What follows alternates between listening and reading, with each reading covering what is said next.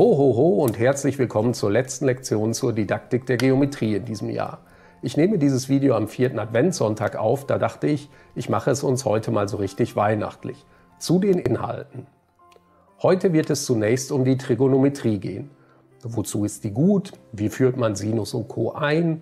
Was sind die wichtigsten Eigenschaften und Anwendungen? Und wie sehen mit Blick auf die Zentralmatura Verbindlichkeiten und Freiräume aus? Wir verlassen dann endgültig die Elementargeometrie, wenn wir uns den Vektoren als zentralem Objektbegriff der analytischen Geometrie zuwenden. Weil der Begriff so zentral ist, geht es heute auch nur um diesen bzw. dessen Einführung. Analytische Geometrie mit Vektoren schauen wir uns dann erst im neuen Jahr an. Wir beginnen aber zunächst mit der Trigonometrie. Wo liegt die Bedeutung der Trigonometrie und wie hängt sie mit anderen Inhalten zusammen? Ich folge hier Andreas Filler, der die Frage strukturiert nach globalen Ideen behandelt.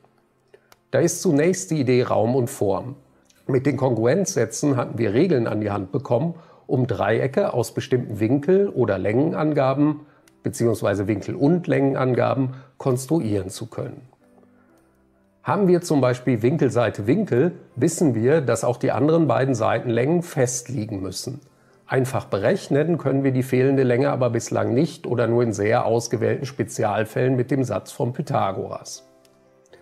Aufgrund der Ähnlichkeit wissen wir außerdem, dass in Dreiecken, in denen alle Winkelgrößen übereinstimmen, zwingend auch alle Seitenverhältnisse übereinstimmen.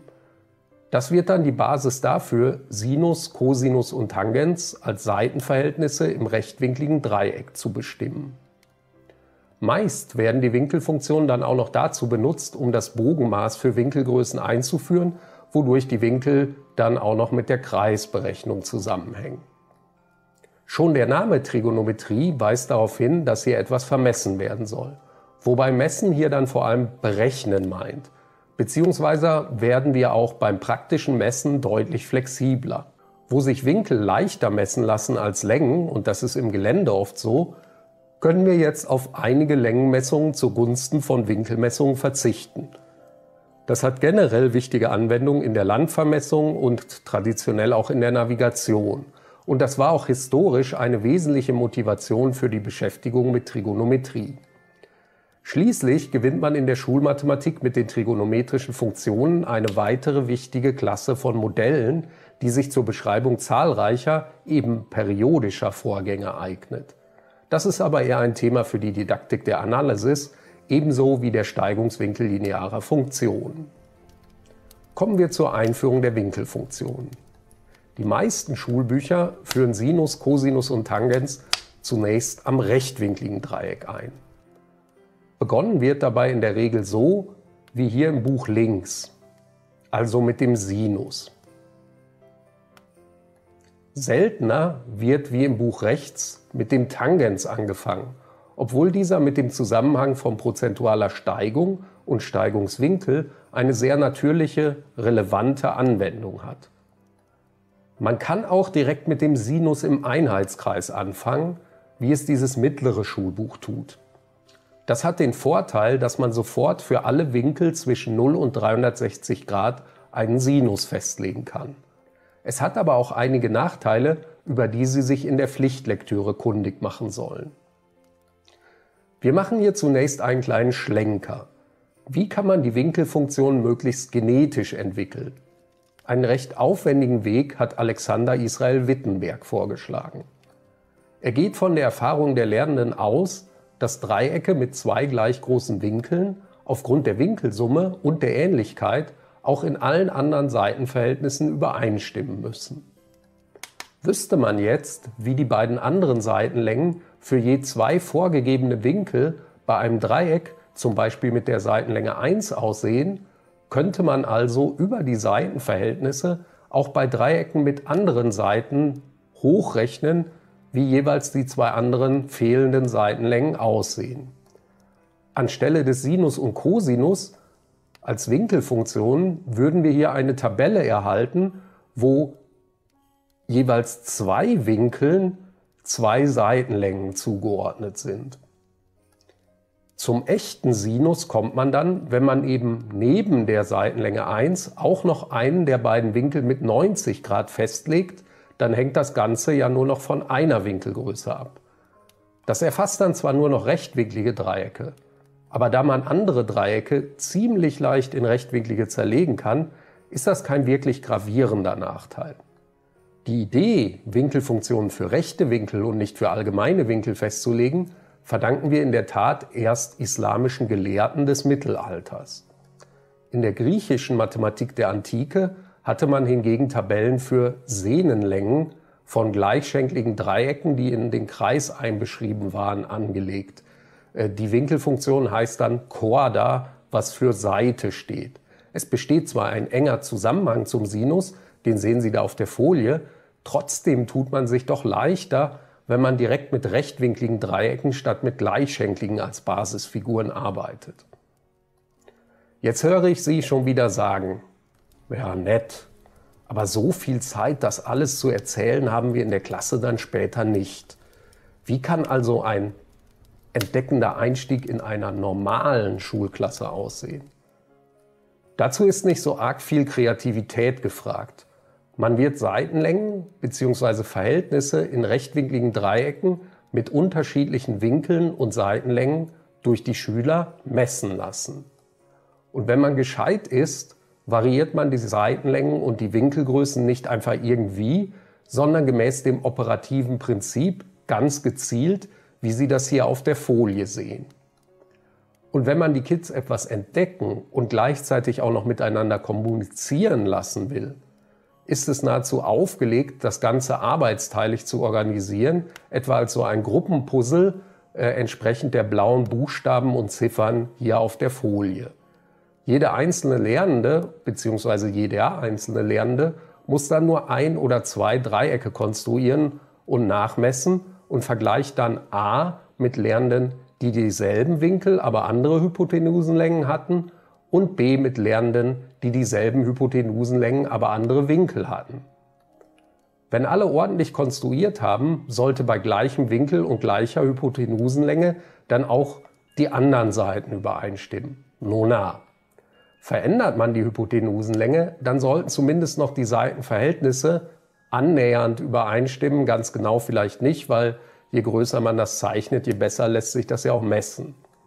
Und schließlich zu jedem Winkel gehören unterschiedliche Seitenlängen bzw. unterschiedliche Seitenverhältnisse.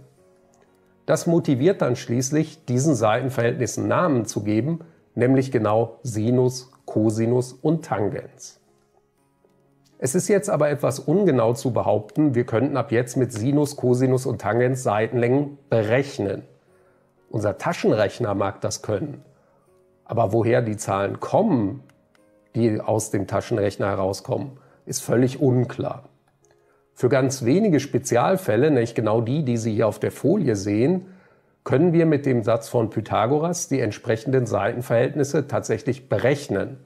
Naja, wieder vorausgesetzt, wir wissen, wie man Wurzeln zieht. Bei den restlichen Werten können wir uns vorstellen, dass da jemand sehr große Dreiecke sehr genau konstruiert hat und danach gemessen hat und das dann quasi in so eine Tabelle oder eine Datenbank eingetippt hat, aus der wir bei Bedarf die Werte jetzt wieder herausholen. Und lange Zeit hat man dafür ja auch wirklich Tabellen benutzt. Erst seit Newton weiß man, wie man die Werte von Sinus und Cosinus über unendliche Reihen berechnet. Der Zusammenhang zum Einheitskreis und der Reihenentwicklung der Eulerschen Zahl wird dabei vor allem dann klar, wenn man den Radius als eine komplexe Zahl auffasst. Das ist aber eher kein Thema für die Schule, sondern für die Vorlesung Analysis 1. Wenn Sie das schon kennen, können Sie sich jetzt freuen. Und wenn noch nicht, dann freuen Sie sich darauf, wenn es dann in der Analysis 1 hoffentlich ordentlich erklärt wird. Für die schultypischen Anwendungen kann man mit Andreas Filler in etwa folgende Stufenfolge erkennen. Zunächst werden die Funktionen bzw. manchmal auch ihre Umkehrungen, wenn man nicht Winkel bestimmen soll, direkt im rechtwinkligen Dreieck eingesetzt. Wenn Sie da außer mathematische Kontexte haben wollen, so wie in der Aufgabe, sollte es im Kontext jeweils klar sein, warum man da bestimmte Größen, also bestimmte Winkel und Längen messen kann und warum andere zu berechnen sind. Also am besten ist das immer so, dass das zu berechnen ist, was irgendwie als nicht leicht oder überhaupt nicht messbar angesehen wird. Bei diesem Leuchtturmbeispiel erscheint das auch halbwegs logisch. Die Erdkrümmung sollte man bei den Entfernungen, die hier im Spiel sind, auch wohl eher weitgehend vernachlässigen dürfen. Gut, innermathematische Anwendungen sind nicht weniger wichtig. Sie gehen einfach nochmal zurück ins Haus der Vierecke und schauen, was man jetzt so alles berechnen kann, ist halt auch wieder eigentlich aufgelegt, das zu tun. Unbedingt sollte man thematisieren, dass Winkelfunktionen zwar in rechtwinkligen Dreiecken definiert wurden, man erweitert sie dann nachher irgendwann noch auf den Einheitskreis, aber ist jetzt nicht das Thema, also dass sie in rechtwinkligen Dreiecken definiert wurden, dass aber schon die Winkelfunktionen in rechtwinkligen Dreiecken die Basis dafür sind, beliebige Dreiecke auflösen zu können, weil man beliebige Dreiecke eben in rechtwinklige Dreiecke aufteilen kann. Der Sinus- und Cosinussatz sind dabei im Grunde nichts anderes als Lösungen der allgemeinen Berechnungsprobleme. Das wird auf dieser Folie auch ganz schön deutlich, wo das spezielle und das allgemeine Berechnungsproblem einfach nebeneinander dargestellt sind. Diese Beweise, die ja im Grunde genommen nur noch mal dasselbe Rechnen mit Variablen sind, gehören daher auch unbedingt in den Unterricht zur Trigonometrie. Selbst dann, wenn Ihnen im Anschluss automatisierte Fähigkeiten zum Auflösen allgemeiner Dreiecke nicht mehr so wichtig sein sollten. Das ganze Thema Trigonometrie wird einfach nicht abgerundet, wenn wir nicht unser ursprünglich motivierendes Problem klären, wie wir alle Dreiecke berechnen können. Hinsichtlich der Anwendungen sind schließlich noch solche zu erwähnen, wo die zu berechnende Dreiecke im Raum liegen. Dabei sind dann eben unterschiedlich stark strukturierende Helfen denkbar. Im ersten Beispiel ist hier noch sehr viel geholfen, im zweiten muss man schon sehr viel mehr nachdenken. Sinus und Cosinus als Funktionen sind dann auch im Sinne der Zentralmatura nochmal ein ganz eigenes Thema. Hier sollte man jedenfalls den Zusammenhang von Sinus- bzw. Cosinusfunktionen und Längen am Einheitskreis nochmal ins Gedächtnis rufen. Das geht mit DGS auch sehr gut. Apropos Zentralmatura. Was erwartet dort derzeit die Lernenden an Kompetenzerwartungen? Offen gesagt eher wenig. Man muss die Definition von Sinus, Cosinus, Tangens am rechtwinkligen Dreieck kennen und Aufgaben lösen können, wo etwas mit rechtwinkligen Dreiecken berechnet werden kann. Da kann es auch mal vorkommen, dass man ein gleichschenkliges Dreieck ohne eingezeichnete Höhe dazu bekommt. Aber Sinus- und Cosinussatz als solche oder aufwendige Vermessungsaufgaben sind von vornherein ausgeschlossen. Ein paar Beispiele dazu gebe ich Ihnen auch noch in die Übung. Hier will ich nur darauf hinweisen, ja, Sie sollen die Lernenden gut auf die Matura vorbereiten. Es ist aber grundsätzlich keine gute Idee, punktgenau nur Beispiele reinzupauken, die die Grundkompetenzen versuchen direkt anzusprechen. Die Schöpfer der Zentralmatura, wie meine ehemaligen Kollegen Roland Fischer und Werner Peschek, sehen hier lediglich Verbindlichkeiten fixiert. Was sollen alle am Ende der zwölften Schulstufe einigermaßen sicher beherrschen? Damit ist aber noch wenig dazu gesagt, wie man dieses Wissen erwirbt und Besser über Verbindlichkeiten Bescheid zu wissen, soll nach Vorstellung der Väter der Zentralmatura eben auch Freiräume dafür schaffen, dass sie individuelle Schwerpunkte setzen können. In der Trigonometrie kann das etwa ganz praktisch Landvermessen heißen, bis hin zum Basteln der entsprechenden Messgeräte und das kann eine sehr lehrreiche Erfahrung sein. Das bietet sich unter anderem dann an, wenn Sie auch noch Geografie als zweites Fach haben und wenn Sie sich gut mit Lehrpersonen für technisches Werken verstehen oder eben selbst eine passionierte Heimwerkerin sein sollten. Hobby- und berufliche Historikerinnen könnten sich anschauen, wie es bereits in der Antike mit Hilfe trigonometrischer Überlegungen möglich war, eine Abschätzung für die Entfernung der Erde zum Mond zu bestimmen. Auch da gibt es, ähnlich wie bei dem ersten Thema, ganz gut ausgearbeitete Materialien für den Unterrichtseinsatz, die Sie unter den jeweiligen Quellenangaben finden. Und jetzt habe ich erstmal etwas Freiraum. Sie machen den Zwischentest und dann geht es weiter mit den Vektoren.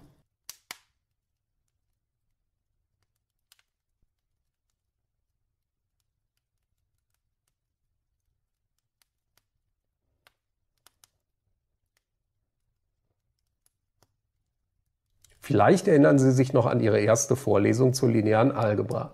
Unter Umständen haben Sie die Vektoren dort nicht wirklich wiedererkannt. Ihre dunkle Erinnerung aus der 9. und 10. Klasse, dass es dabei irgendwie um Pfeile geht, prallte unter Umständen auf ein gänzlich anderes, weil formales Begriffsverständnis. Vektor kann an der Uni alles sein, was bestimmten Rechengesetzen, nämlich den Axiomen, gehorcht. Neben Datensätzen, Listen bzw. Zahlentupeln kann das aber eine ganze Menge sein.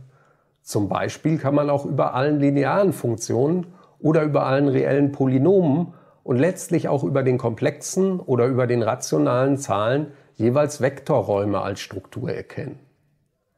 In der Schule werden hingegen vor allem zwei Vektorkonzepte behandelt, die eng miteinander zusammenhängen. Vektoren als Mengen, wenn man genau ist eigentlich als Äquivalenzklassen von parallel gleichen Pfeilen oder Vektoren als N-Tupel, meist im Wesentlichen als Zahlenpaare bzw. Zahlentrippel, die vornehmlich als Koordinaten zur Beschreibung geometrischer Objekte benutzt werden.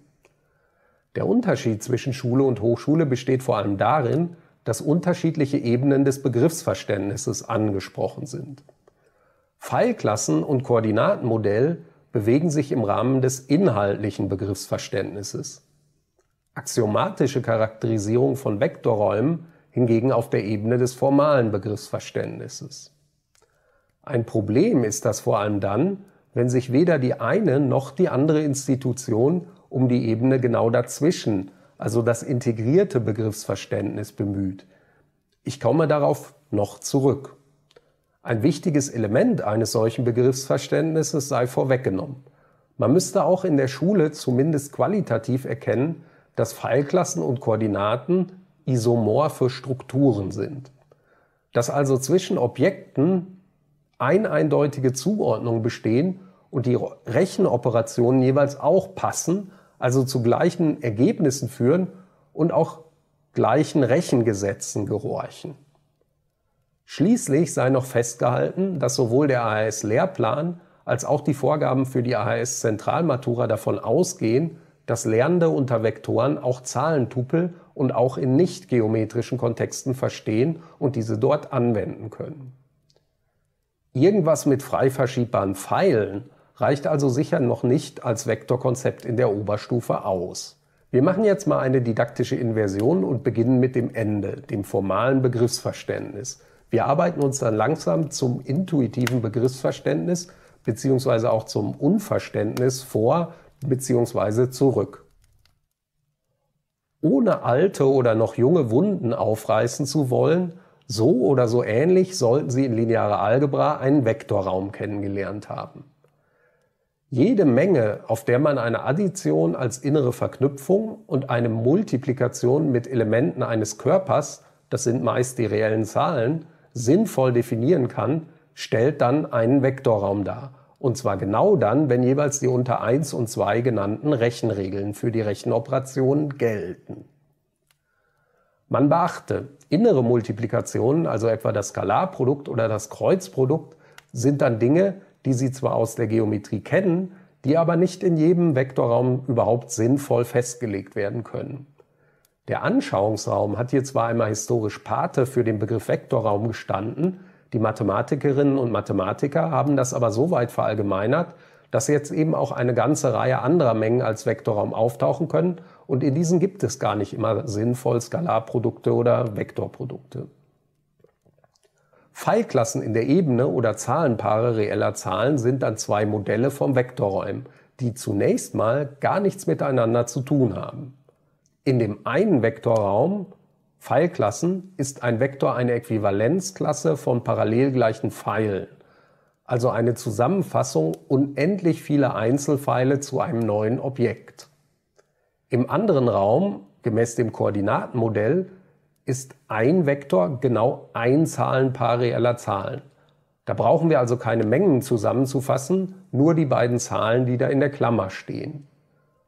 In dem einen Raum Pfeilklassen sind Addition und Multiplikation mit einem Skalar, also einer reellen Zahl, als geometrische Operationen repräsentantenabhängig definiert, dadurch, dass man da etwa die Pfeile zusammenhängt oder dadurch, dass man den Pfeil in die Länge zieht. Dadurch werden dann einige etwas aufwendige Beweise nötig, wenn es um die Frage der Wohldefiniertheit dieser Operationen und die Rechengesetze geht. In dem anderen Raum, Koordinatenmodell, sind die Rechenoperationen komponentenweise definiert. Die Rechengesetze vererben sich daher in natürlicher Weise von den reellen Zahlen. Weil wir hier keine Äquivalenzklassen haben, sondern wirklich ein einzelnes Zahlenpaar jeweils auch ein Vektor ist, sind die Beweise allesamt deutlich einfacher, weil wir uns nie um die Frage der Repräsentantenabhängigkeit Gedanken machen müssen. Der eigentliche Witz an Vektoren in der analytischen Geometrie ist jetzt natürlich dann doch wieder der Zusammenhang zwischen den beiden Räumen, den man Isomorphie nennt. Man kann zwischen den Vektoren in beiden Räumen bijektiv zuordnen, dann stimmen auch jeweils die Ergebnisse der Rechenoperationen überein, wenn man das wieder zurück übersetzt. Das ist für die Geometrie dann spannend, weil wir die aufwendigen und, wenn wir sie zeichnerisch durchführen, nur approximativ durchführbaren geometrischen Operationen auf Operationen mit Zahlen bzw. variablen Tupel zurückführen können. Und die lassen sich eben in der Regel einfacher und meist auch genauer durchführen. Rein mathematisch gesehen ist es auch gehopst wie gesprungen, ob man erst das eine Modell, also die Pfeilklassen, oder erst das andere, also die Koordinaten kennenlernt. Wichtig ist die Verknüpfung zwischen beiden Räumen. Didaktisch ist die Sache aber etwas komplizierter.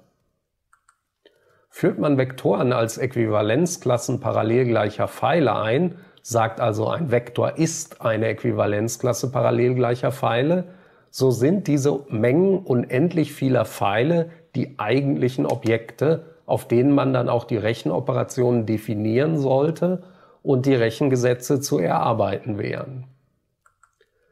Koordinatenpaare sind dann Darstellungen dieser Objekte, bei denen man sich zurückversichert, dass es analoge Rechengesetze auf ihnen gibt. Will man mit diesen Vektoren so in die analytische Geometrie einführen, besteht eine gewisse Herausforderung darin, wie man jetzt eigentlich mit den Punkten umgeht.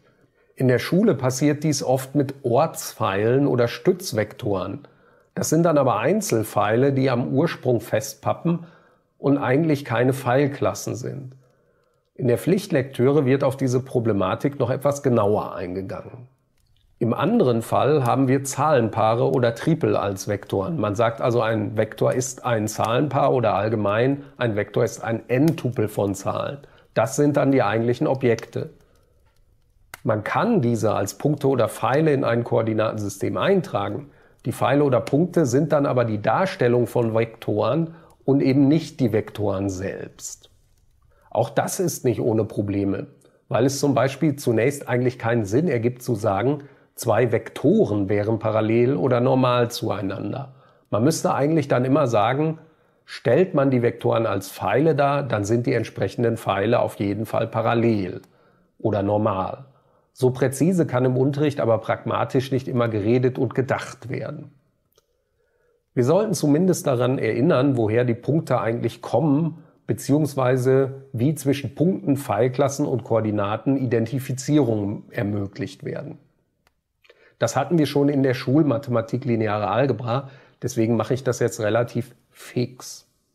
Wir haben dazu nämlich den affinen Punktraum eingefügt. Wenn Sie das noch nicht kennen oder sich nicht mehr so gut erinnern, im Grunde genommen legen wir da nicht viel mehr fest als entlang eines Nullpfeils zu laufen oder etwas um einen Nullpfeil zu verschieben, bedeutet sich nicht fortzubewegen oder etwas nicht verschieben. Dann noch dass man von jedem Punkt zu jedem anderen Punkt auch durch einen Pfeil beziehungsweise eine Verschiebung um diesen Pfeil wirklich hinkommen muss und dass es schließlich egal ist, wo man auf dem Weg zwischen drei Punkten einen Zwischenstopp einlegt. Jetzt können wir Koordinaten und Pfeilklassen verbinden. Wir wählen einen Punkt, den Ursprung, und zwei, beziehungsweise wenn wir im Raum sind, dann drei linear unabhängige Vektoren, die sogenannten Basisvektoren aus. Vektoren erhalten dann, alle anderen Vektoren, um genau zu sein, erhalten dann ihre Koordinaten als Koeffizienten der Linearkombination aus diesen Basisvektoren. Punkte erhalten sie über die Linearkombination eines aus den Basisvektoren bestehenden Vektorzugs, der vom Ursprung zum Punkt führt.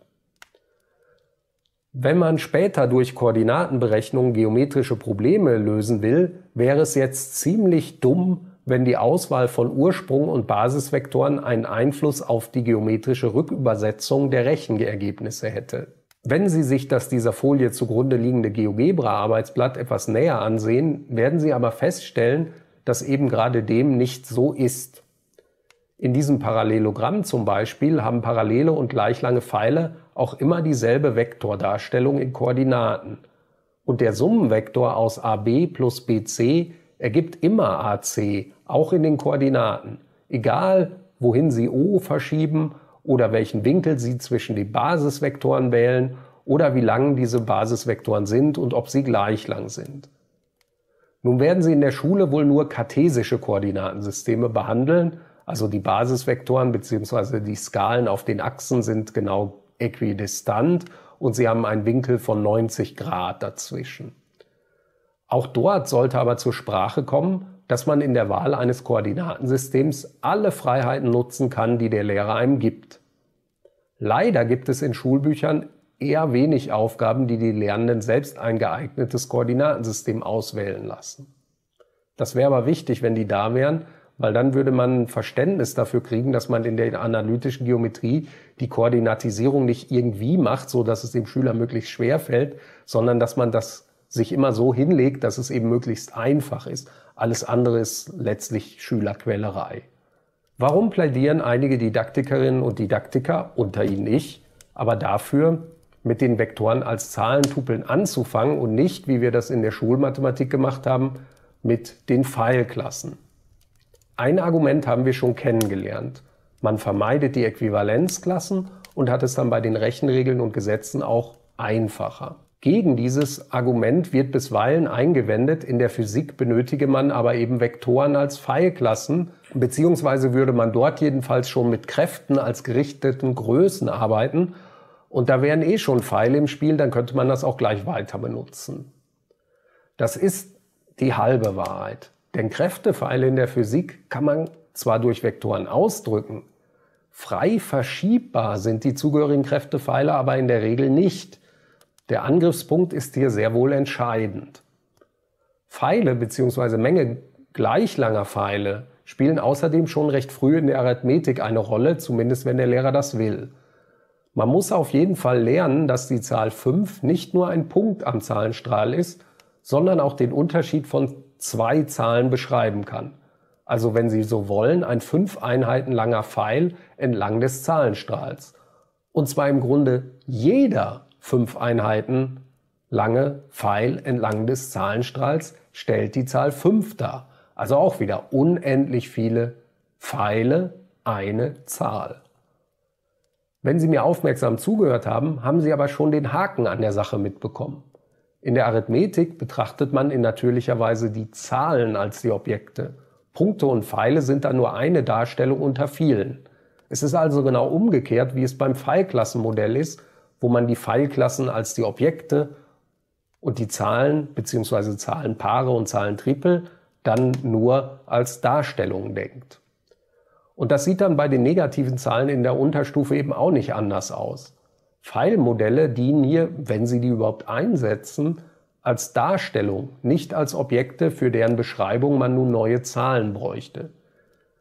Selbst wenn das hier in diesem Bild auf der Folie suggeriert wird, wir bräuchten negative Zahlen, um diesen Silly Walk des Menschen da zu modellieren, muss man doch so ehrlich sein, sich einzugestehen, dass es genau andersherum ist. Die Schrittfolge, die hier dargestellt ist, ist einfach nur eine Einkleidung für das Rechnen mit den Zahlen, die die eigentlichen Objekte sind. Schließlich kann man für das Koordinatenmodell ins Feld führen, ebenfalls bereits seit der ersten Klasse Volksschule intuitiv genutzt zu werden. Auch die Felderbezeichnungen beim Schiffe versenken oder am Schachbrett wären intuitive Vorerfahrungen zu Koordinaten. Jetzt mögen Sie einwenden, ach Herr Frohns, das wird doch alles nicht so heiß gegessen, wie es gekocht wird. Irgendwas bekommen die Schülerinnen und Schüler schon irgendwie mit, egal welches Modell ich unterrichte. Sag ich, mag schon stimmen, aber die Schwierigkeiten in diesem Bereich sind eben auch ganz gut dokumentiert. Wir gehen die jetzt nicht allesamt systematisch durch, aber wir schauen uns mal ein paar eindrückliche Beispiele aus verschiedenen Interviews von Günther Malle an.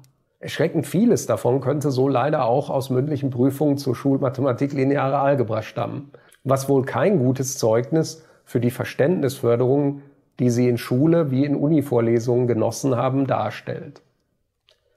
Hier zunächst der Klassiker. Ein Vektor wird von der Schülerin, die hier interviewt wird, nicht als Menge von Pfeilen verstanden, sondern als einzelner Pfeil. Lesen Sie mal die linke Seite.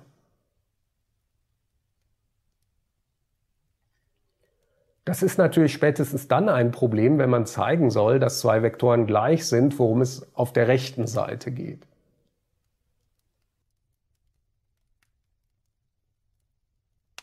Es kann auch schwierig sein, wenn Sie etwa wie letztes Jahr bei der Zentralmatura irgendwo einen Summenvektor sehen oder hinzeichnen sollen, am Blatt aber an der richtigen Stelle dafür der Platz fehlt und man sich dann erinnern muss, dass ja im Prinzip auch jeder andere parallel gleiche Pfeil passen würde. Hier haben wir dasselbe Problem nochmal mit einem männlichen Schüler in zwei etwas anderen Varianten.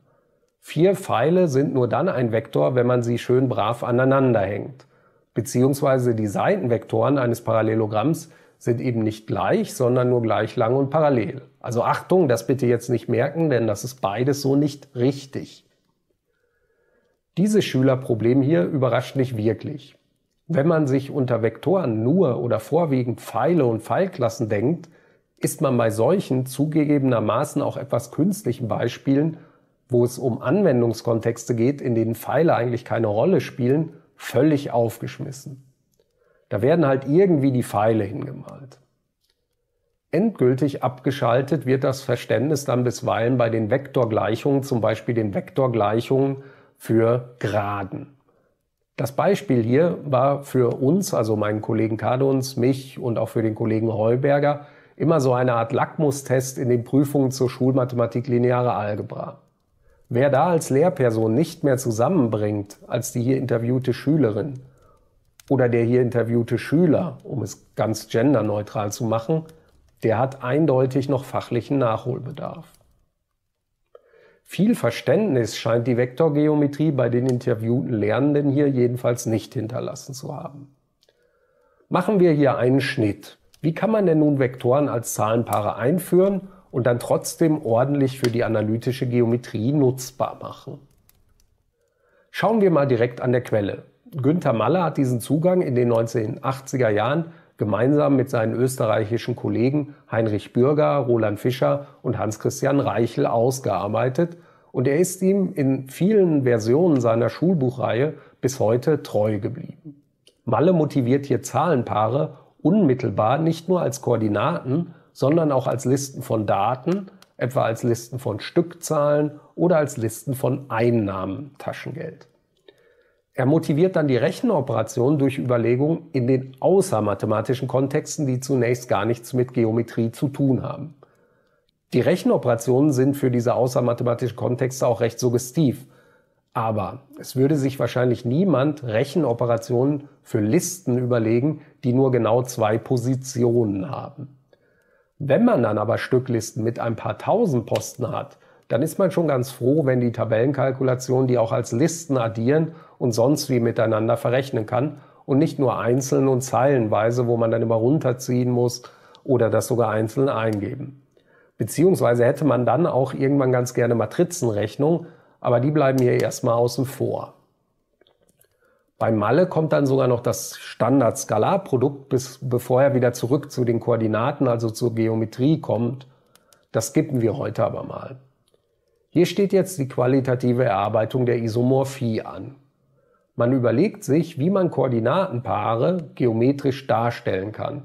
Beziehungsweise eigentlich überlegt man sich, dass man Zahlenpaare als Koordinatenpaare deuten kann und dass man damit Punkte und in gewissem Sinn eben auch Pfeile darstellen kann wobei ein Koordinatenpaar einen Pfeil eben nur hinsichtlich seiner Länge und Richtung festlegt, aber nicht hinsichtlich der Lage am Zeichenblatt.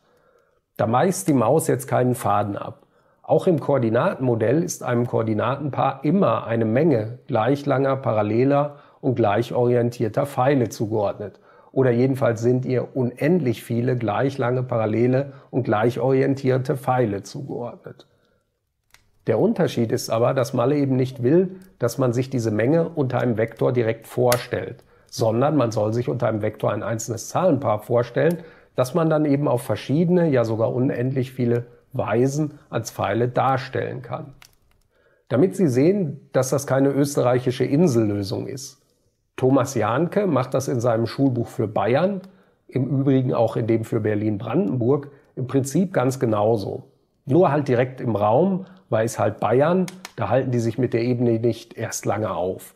Ja, um ehrlich zu sein, das liegt einfach daran, da wird der Vektorbegriff später eingeführt und dann macht man das eben gleich für R2 und R3 zusammen oder fängt sogar direkt mit dem R3 an. Vektor ist auch hier das Zahlenpaar. Punkte oder Pfeile sind dann Darstellungen, wobei hier zunächst mal mit den Punkten angefangen wird. Die Pfeile kommen dann erst ein bisschen später. Was Jahnke sich bzw. den Lernenden jetzt nicht gibt, sind die etwas gekünstelten Anwendungsbeispiele vorneweg. Das ist aber auch irgendwie Geschmackssache. Wenn Sie sich danach eh nur noch Vektoren in der Geometrie anschauen, vergessen Sie das mit den Stücklisten und diesen Preislisten in der Regel ohnehin recht rasch wieder. Konsequent auf Pfeilklassen setzt noch heute das sehr traditionsreiche Lehrwerk von Bigalko und Köhler. Motiviert wird die Pfeilklasse hier als Translation bzw. Verschiebung. Bei Verschiebungen ist die Vorstellung, dass man da so frei verschiebbare, im Prinzip gleichwertige Verschiebungspfeile hat, sehr naheliegend. Der kleine Haken ist hier, Verschiebungen oder Translationen sind sogar in Bayern mittlerweile aus dem Lehrplan der S1 herausgeflogen. Das heißt, diese intuitiven Vorerfahrungen, die man da früher hatte mit den Pfeilen als Verschiebungspfeile, an die man dann anschließen könnte in der Sekt 2, die sind jetzt auch eher nicht mehr vorhanden. Am äußersten Rand des Spektrums bewegt sich dann diese, ja, ich weiß eigentlich gar nicht, ob ich dazu Definition sagen soll, also Definition in ganz dicken Gänsefüßchen von Vektoren. Hier wird zwanghaft versucht, bloß nicht von Pfeilklassen zu reden. Jetzt so, so äh, das Leben des Breien mäßig. Er hat Pfeilklassen gesagt, er hat Pfeilklassen gesagt. Ne? Das, das soll hier vermieden werden. Dadurch wird die Sache aber nicht wirklich einfacher.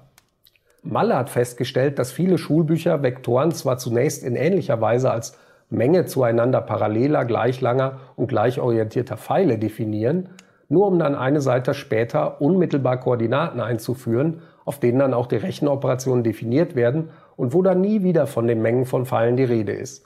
Ja, das ist aber geschummelt, muss man ganz ehrlich sagen. So, wir ziehen jetzt ein Zwischenfazit. In der nächsten Lektion bzw. im neuen Jahr geht es dann weiter. Das Pfeilklassenmodell ist zunächst näher an Anwendungen der analytischen Geometrie. Wobei man das auch wieder relativieren kann, weil auch dort denkt man vielleicht noch an frei verschiebbare Pfeile, aber eher nicht an unendliche Pfeilmengen. Der große Nachteil ist, Begriffsbildung, Rechenoperationen und Gesetze sind hier viel mühsamer, weil man eben mit Äquivalenzklassen arbeitet und mit Repräsentanten sich herumschlagen muss. Weshalb viele Schulbücher dann in dieser Weise, wie ich das vorhin erklärt habe, mogeln und einfach auf halbem Weg direkt ins Koordinatenmodell wechseln. Ja, kann auch gleich damit anfangen. Ne? Wie Sie in Schulmathematik lineare Algebra erfahren konnten, kann man in diesem Modell tatsächlich, wenn man sich Zeit und Mühe gibt, bis zur Ebene des formalen Begriffsverständnisses, also der Einbettung in die Vektorraumstruktur, wie Sie die in der linearen Algebra 1 kennenlernen, vordringen. Und man kann über den affinen Punktraum auch die Isomorphie zum Koordinatenraum ganz formal herleiten. Die schulische Erfahrung lehrt aber, dass das mit Jugendlichen in der 9., 10. Klasse nicht wirklich gut funktioniert. Da hat man in den 70er Jahren mal Versuche gemacht, da Verständnisvakuum sei einfach nur. Das ist auch eher überambitioniert. Deshalb ist der Vorteil, der hier steht, eigentlich eher von theoretischer Natur. Zahlenpaare bzw. Tripel im Sinne des Koordinatenmodells als Vektoren aufzufassen, hätte demgegenüber schon mal den Vorteil, leichter einen Weg zu außergeometrischen Anwendungen zu ebnen. Ja, dem steht dann wieder in gewisser Weise der aktuelle Lehrplan der AHS im Wege, denn in Anwendungen braucht man sehr bald mehr als zwei Komponenten, also den R4, R5 oder Rn mit endlichen n. Und man braucht eigentlich auch mehr als Vektorrechnung, weil ohne Matrizen steht man dann sehr bald an bei sehr vielen Fragestellungen. Die sind aber wenigstens in der AHS wieder kein Kernlehrstoff, also wird das auch schwierig. Es bleibt der Vorteil, dass die Begriffsbildung und die Rechenoperationen und Gesetze hier sehr viel leichter einzuführen sind. Die beiden hier dann auf der Folie noch genannten Nachteile sind dann wieder eher strukturell theoretischer Natur. Wenn Sie die Isomorphie zwischen den beiden Räumen, Pfeilklassen, Koordinaten haben wollen, kommen Sie natürlich irgendwann nicht an Pfeilklassen vorbei.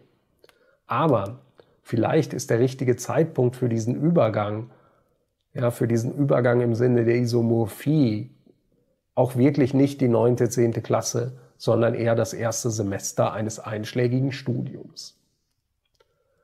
Und damit sind wir für heute am Ende. Falls Sie brav gestrebert haben und das Video noch vor Weihnachten angeschaut, wünsche ich Ihnen frohe Weihnachten. Ansonsten hoffe ich, dass Sie die weihnachtliche Aufmachung nicht zu sehr irritiert hat und unabhängig vom Zuschauzeitpunkt, jetzt gibt es wieder das Quiz und den Abspann und ich sage auf Wiederschauen in 2018. Deck the halls with boughs of holly, la la la la la la be jolly. La la la la la la la la.